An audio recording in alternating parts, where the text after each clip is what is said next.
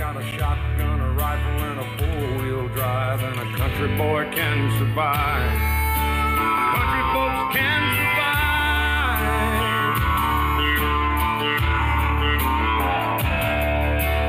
I can plow a field all day long. I can catch catfish from dusk till dawn.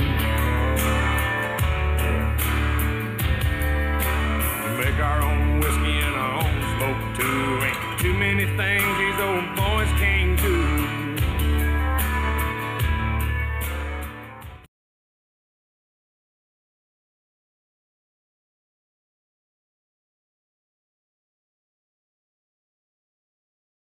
Hello, welcome back again to Montana John's Outdoor Adventures. Remember, gun safety first. Well, we have Jim with me here today, Hello. and uh, he lives out west of town, and he was having a, um, a problem with his O-ring ripped and tore on his gun. Is a light piston in here right now? no, I took it out. Okay, where is it in a truck?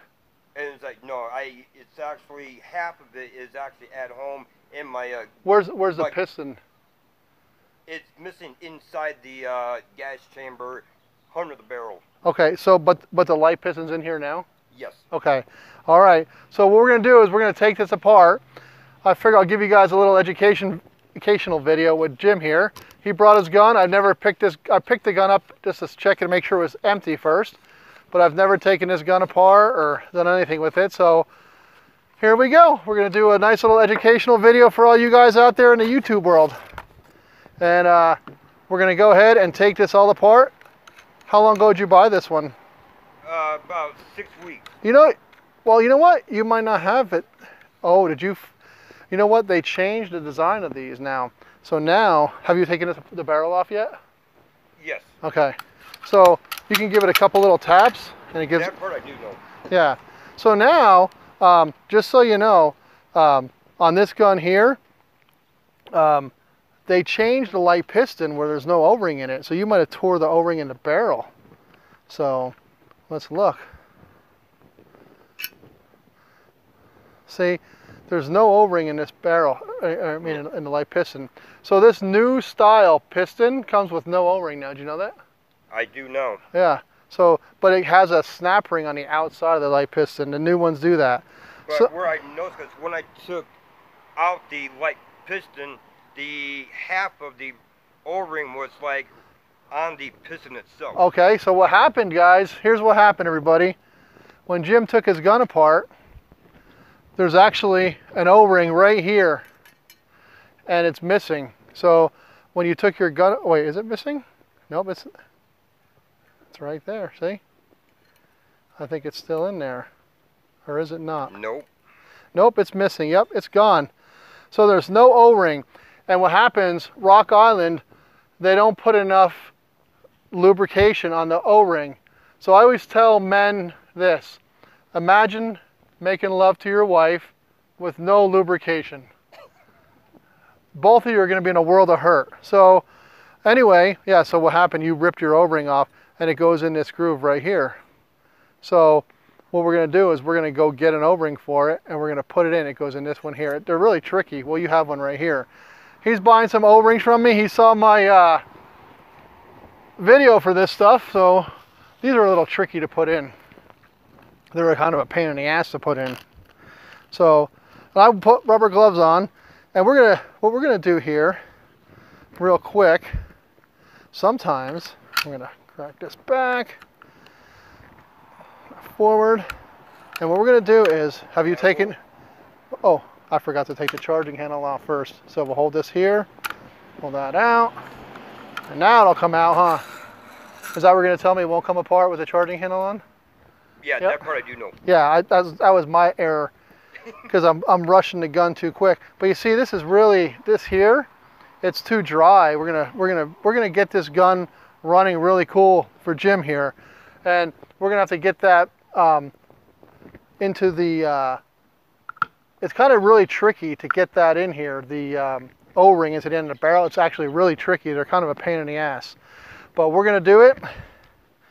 But I'm gonna put some Lucas grease on here. And there's a guy in Utah, his name is Sean. He calls me at least once a week. and talks to me. And uh, he's a really nice guy. And I did a Zoom video with him and I helped him take his gun apart and, and uh, you know, because I charge $20 for an hour's worth of time on my YouTube channel, or I mean on my, so we'll leave this off.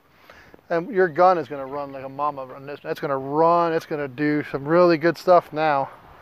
So, uh, but I have a helpline on my uh, playlist where I charge $20. And um, so if anybody wants, you know, to uh, call me and me run, uh, run you through what I'm doing here, I can sure do that. See what we're doing here? Absolutely. What happens is you can get light fire, firing, uh, light firing pin strikes or like primer strikes. And what you want to do is, see what I'm doing here? You want to do this, okay? Because see how dry this is? And this is a lot of friction in your gun. So you don't want friction in your gun. And this piece here, you don't want to put anything on it except this right here. And that's it. And you can just work that back and forth, see? And then it goes gun grease and then gun oil every time. So you put the grease on first and then this. But your gun's gonna run like a champ when we're done here. So they did away with the O-ring though. So you only have an O-ring in your barrel. We'll, we'll put one in, but we're gonna put some grease in this because this rides up and down it. So if this was the female, as they you know they use in pipe world, you know, like mm-hmm. in the, the plumbers, say this is the female, and this would be the male. So all you people out there in YouTube land, this is the male obviously, and this is the female. And when you do this, what happens? Imagine it being dry, you know? Not gonna feel very good, is it? No. So we're gonna fix this bad boy up so it's not dry. And then see what I'm doing? Next time you could do this. So he called, Jim called me because he tore an O-ring, taking it apart. And I said, just bring your gun by and I'll, I'll take care of it for you. I'll help you get her all taken care of. And hopefully we'll beat the rain. I think we're gonna beat the rain. He said it was raining on the way down, right? Right. So, see what I'm doing as I'm, I'm laying these parts in order here? Well, just laying them out. So, you don't, I'm not worried about the spring. But if you notice, everything that moves, you want to grease it and you want to lubricate it. So, this whole rail, these go into the slides. Like there's two little channels on your gun, on your frame. And you can see where they ride right in here. See those channels right there? Right. So this rides right on those rails. See that? On those, Mhm. those rails. These. So what happens is you get a lot of friction. So you want to do this. And now you could shoot a thousand rounds through your gun now. And when you take your gun apart, this this this will still be there. You'll still have this there. So what happens? You'll still have the grease and the oil mixture because it's really it's hard. It doesn't go anywhere. It doesn't dissipate. And you want to do this check valve as well. So everything gets grease first and then oil. See what I'm doing there? Absolutely. And what we're gonna do is you should you want to believe how slippery this is, man. This is like this is some really crazy stuff how slick it gets when you mix the two together. But you want to do this whole entire thing because what happens this slides up and down just like your light piston does. And what this is, this is an AK-47. An AK-47 is like the most reliable gun in the world. And this gun here is an AK-47 manufactured upside down. Isn't that crazy? So Absolutely. uh, Jim's buying one of my t-shirts here.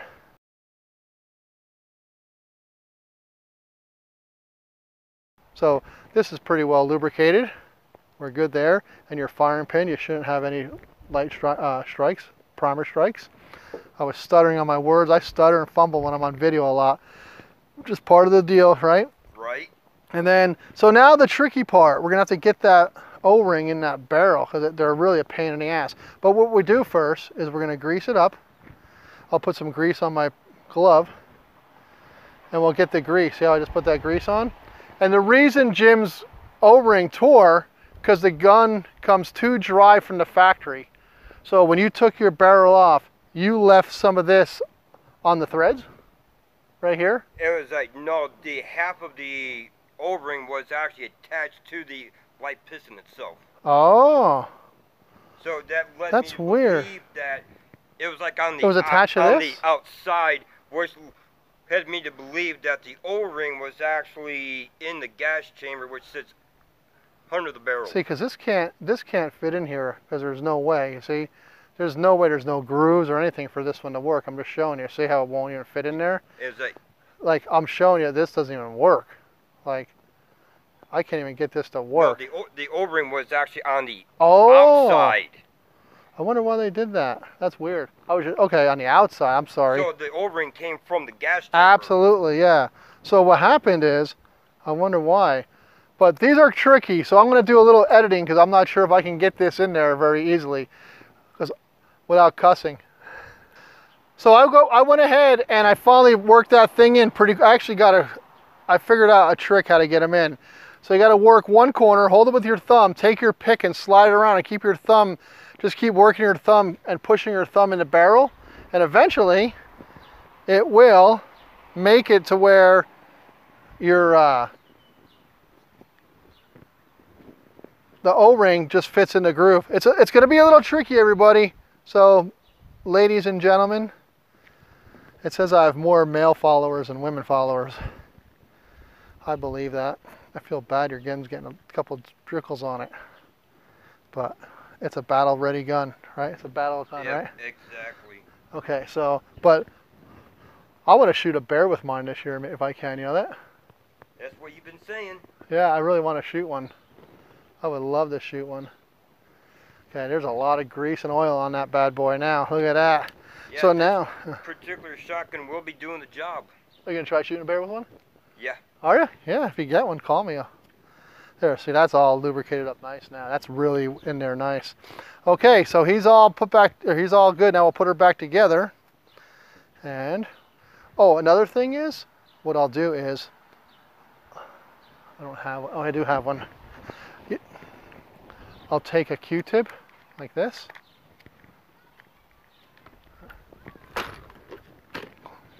I'll take a Q-tip and put this on here like that, some grease. For the upper receiver. For yeah, and get it in here like this. In these channels. There's a hair in there. And you work that in there on that side and the other side because your Rail. that rail, that guide, yeah, that it's gonna actually it's a carrier that holds the bolt group. You just put some of it on there. And I just let this run down to I don't even worry about it. It'll it'll work itself in pretty good right there. A couple drops on each side. Gravity's pulling it right down. So you're golden now. And now all this is ready to rock and roll. We could pop this back in here. There, we're locked in. And then what we're going to do is make sure that's all good there. That's perfect. And then put on this. And we're going to grab your bolt group.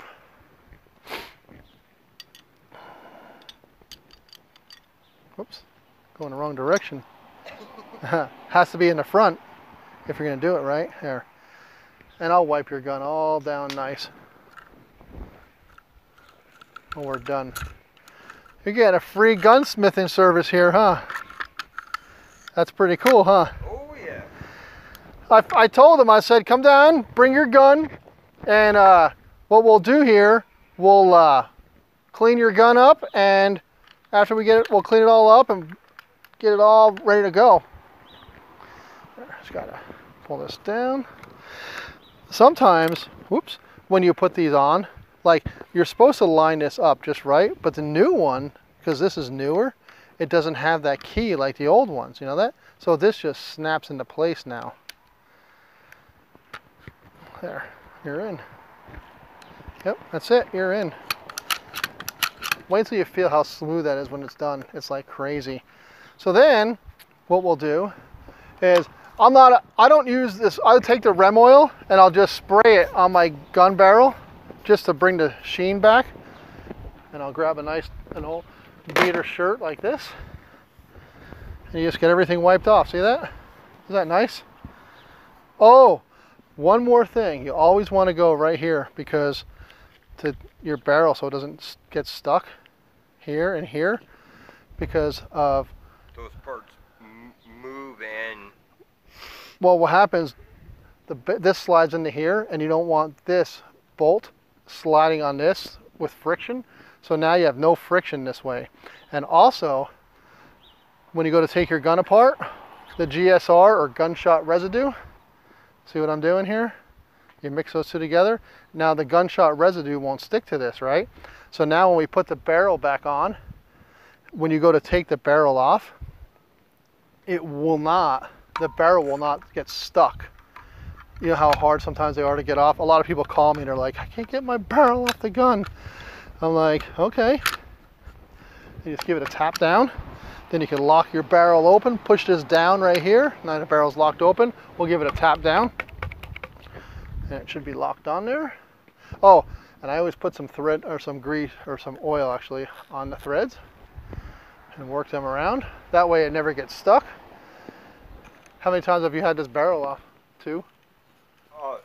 I can tell because it's silver on both sides of your nut there. So,